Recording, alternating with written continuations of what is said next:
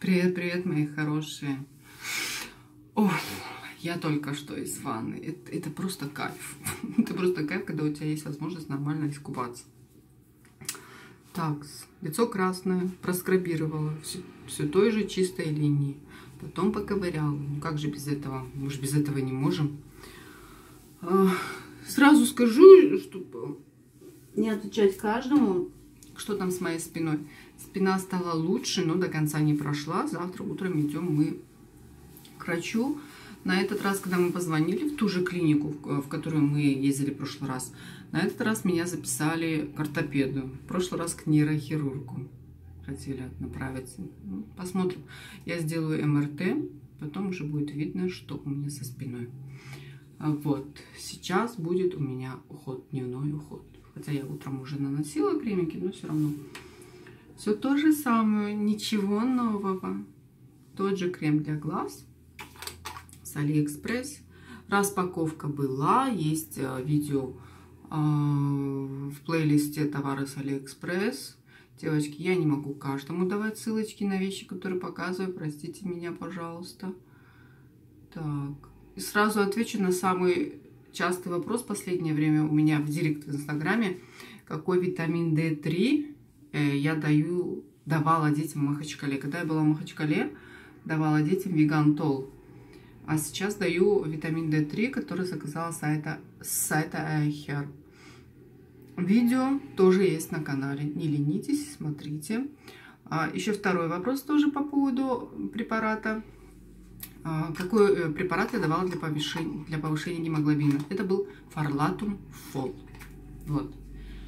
Каждому отвечать я не могу, простите меня, пожалуйста. Так, дневной крем вот этот у меня. Корейский, который я покупала в Махачкале. Наношу его часто.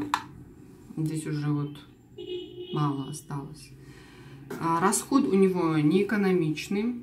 Или я так наношу, я не знаю. Вот это, наверное, на лицо мне хватит. Ну и на шею, конечно. Хотела поболтать с вами о выплатах в Турции при рождении детей. Я не смогу сказать, сколько вам заплатят э, за первого ребенка, сколько за второго и сколько за третьего. Я единственное могу сказать, э, сколько заплатили нам. Но нам заплатили как за второго и за третьего ребенка, потому что у мужа уже есть первый ребенок, доча, и получается, мы получили деньги за второго и за третьего рожденного ребенка. Ровно тысячи лир. Ровно тысячи лир мы получили за второго и за третьего ребенка рожденного. Вот. Это небольшие деньги, это где-то 13 тысяч рублей. А выплата это единовременная. Один раз ее платят и все. Вот. Больше здесь выплат никаких нет, но если вы работаете официально и у вас хорошая зарплата, то, конечно же, есть выплаты. Декретные типа наших. Так. И хотела сказать по поводу документов, которые нужны от мужа иностранца для получения выплат в России. Ну, в России не знаю, в частности, я получала в Махачкале. Именно в Махачкале, как там по всей России, не могу сказать, потому что в Махачкале законы не писаны. Почему я так говорю, сейчас поймете. А, у меня был перевод нашего свидетельства о регистрации брака, нотариально заверенный, апостиль, перевод, все сделано в Турции. По этому переводу я получала два года назад два или три года назад, я сейчас точно не помню, получала новый паспорт с фамилией, с двойной фамилией. Так как когда я, когда мы зарегистрировали брак, мне поменяли фамилию, у меня двойная фамилия. И вот где-то года три назад я ездила в Дагестан, чтобы поменять паспорт. Вот с этим переводом, который был сделан в Турции, э, я поменяла этот паспорт. А, на этот раз я приехала в Турцию с этим же переводом. Еще что было у меня? Еще перевод нотариально заверенный мужа, паспорта был. Он его привез уже. Так. А, с этим же переводом я приехала а, в Махачкалу на этот раз. И получилось свидетельство о рождении детям с этим переводом. С тем переводом, который мне привез муж, перевод паспорта. Короче, еще раз скажу.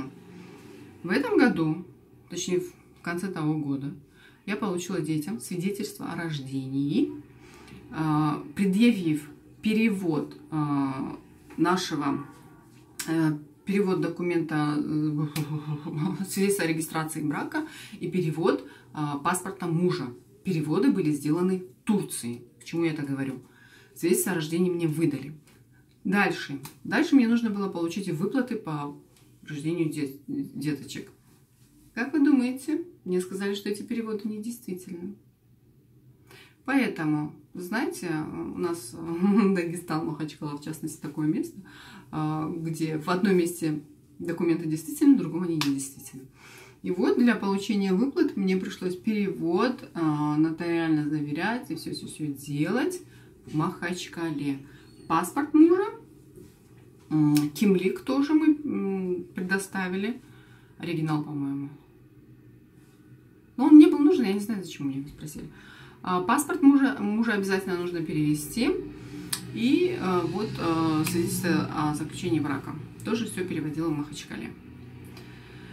К чему я это говорю? К тому, чтобы, знаете, лучше, наверное, все-таки переводить в России, чтобы до вас не докопались. Чтобы вам не было э, двойных расходов. Это не очень дешево переводить, бегать нотариально. Нотариус, перевод, апостиль. Каждый, каждый лист оплачиваете. Поэтому Сделайте это все в России. Вот так вот. Желательно, конечно, чтобы ваш муж был рядом, потому что, например, чтобы получить, чтобы записать своих детей в паспорт,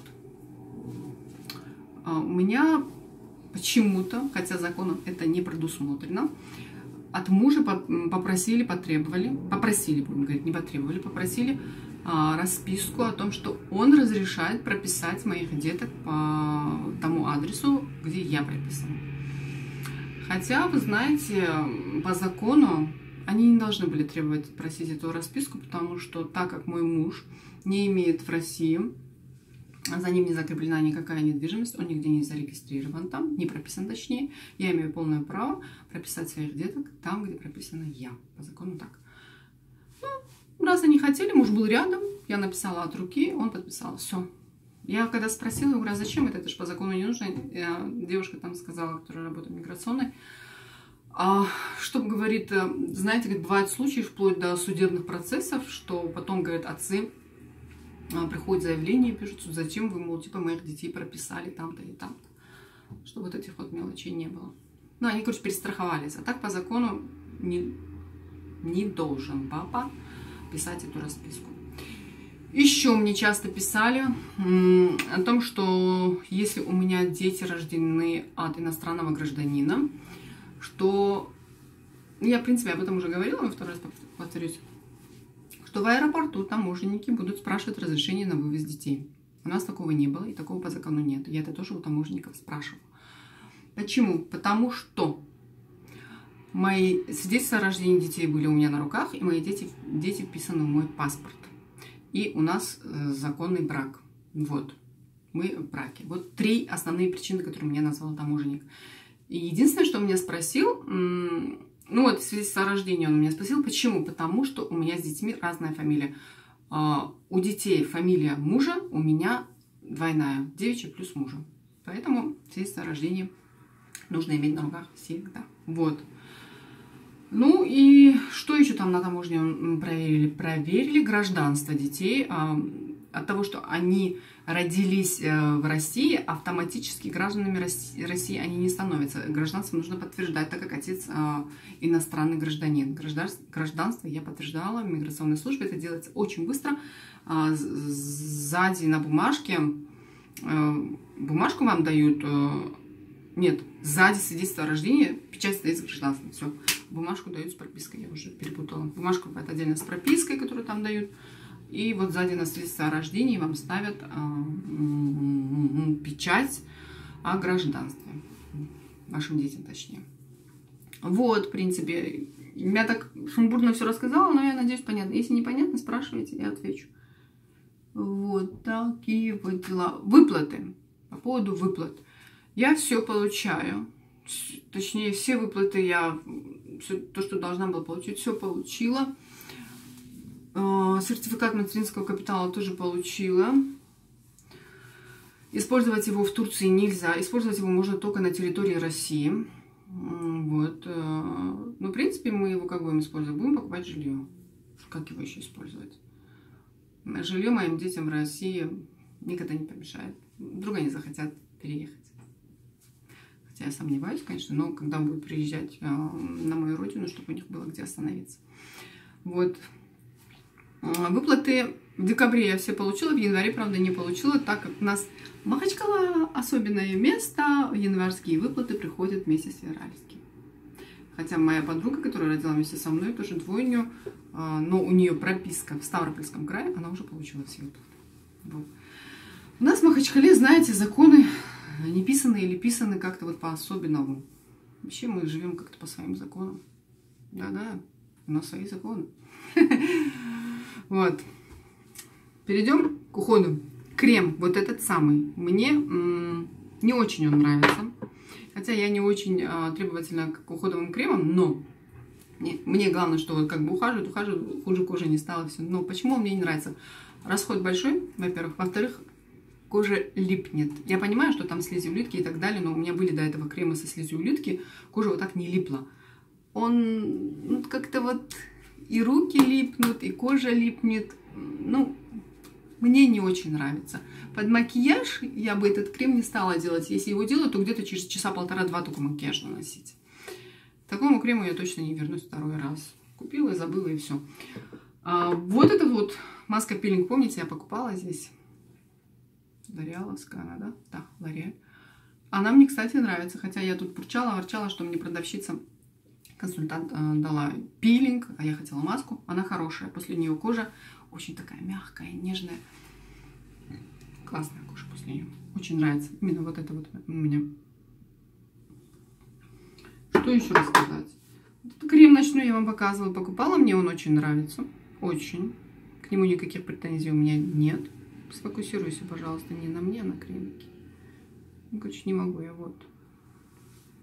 Господи. Вот такой вот крем. Здесь сзади все на турецком, наверное. Нет. Гамбург, Париж. Так. Теперь, что я буду делать с волосами? Сейчас я на волосики нанесу вот эту маску с Алиэкспресс. Помните, да, ее? Ей почти год. Ей почти год. Она у меня еще есть. Еще а, Зулечка ее пользуется. Зулечка ее пользуется как обычной маской. Ей она понравилась. Сейчас закажу ей тоже. Поэтому мне хватает вот такая вот горошинка. Вот, мне это хватает достаточно. На руки, вот так, и по волосам. Конечно, если пользоваться ею как обычная маска, мне кажется, результат будет даже лучше. Я не знаю. Ой. Вот так вот. Ссылочку не найду, сейчас не смогу оставить. Обзор был.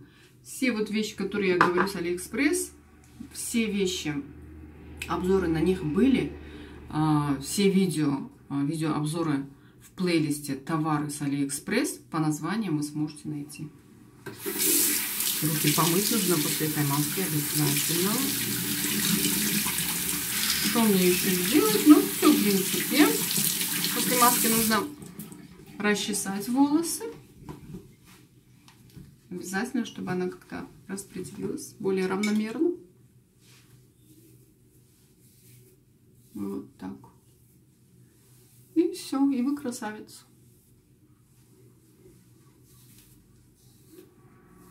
Сегодня я на лицо маску наносить не буду. Отдохнет. Все. Сегодня у нас был девятый день массажа, детки спят. А, я не знаю, я говорила в своем видео, изменения какие-то есть или нет, или не говорила. Я не помню. Скажу так, э, изменения заметила у дочери. Кстати, вчера она первый раз сама перевернулась полностью. Так она переворачивалась или э, со спины, со спины на бок она переворачивалась, а с живота она на спину переворачивалась. Но со спины на живот полностью она не переворачивалась, только на бок. Вчера она уже перевернулась сама. Вот это вот ее достижение. Еще достижение, что она стала лучше держать голову. Все, больше пока изменений не вижу, но мне кажется, за 8 сеансов это нормально. За 9, сегодня был 9. У сына никаких э, изменений я не вижу. А он как хотел топать ножками, так и хочет.